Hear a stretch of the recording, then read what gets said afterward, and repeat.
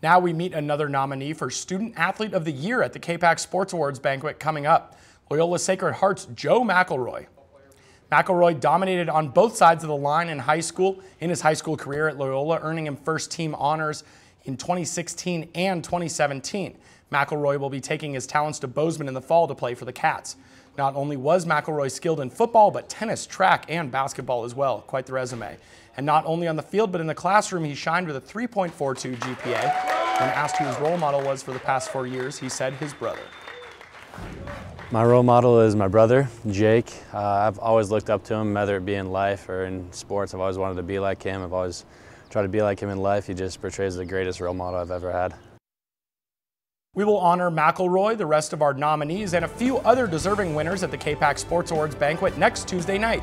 Dinner starts at 6 p.m. in the Hilton Garden Inn. If you want tickets, swing by the KPAX station during normal business hours, Monday through Friday.